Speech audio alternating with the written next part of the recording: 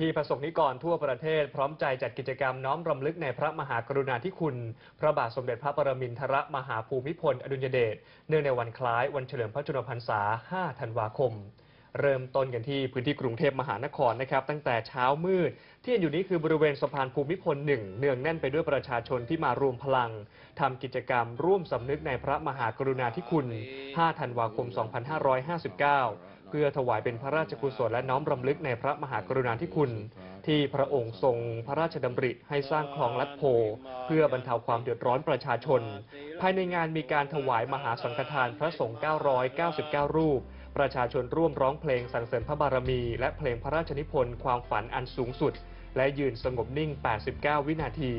นอกจากนี้ผู้ที่มาร่วมงานยังได้เขียนคำปฏิญาณทำความดีเพื่อพ่อ รวมถึงได้รับเข็มกลัดรูปเลขเก้าไทย และดินมหามงคลจาก 77 จังหวัดเป็นที่ระลึกด้วยนะครับ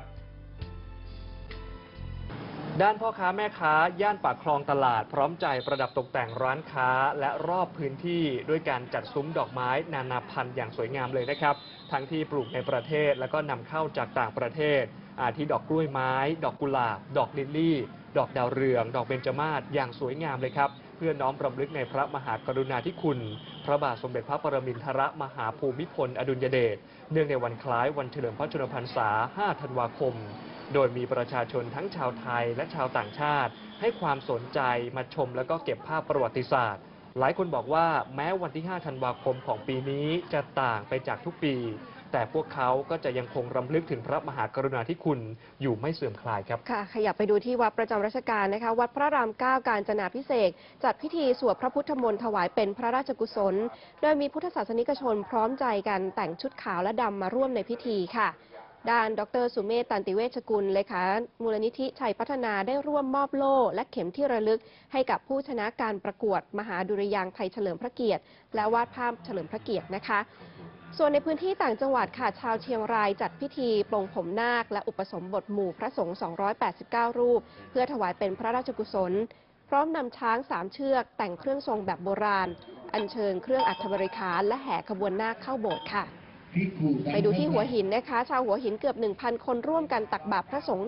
189 รูป ที่บวชถวายพระบาทสมเด็จพระปรมินทรมหาภูมิพลอดุลยเดชที่หน้าพระราชวังไกลกังวล ขณะที่ค่ำคืนนี้จะมีการรำเทียนถวายความอาลัย น้อมรำลึกในพระมหากรุณาธิคุณค่ะ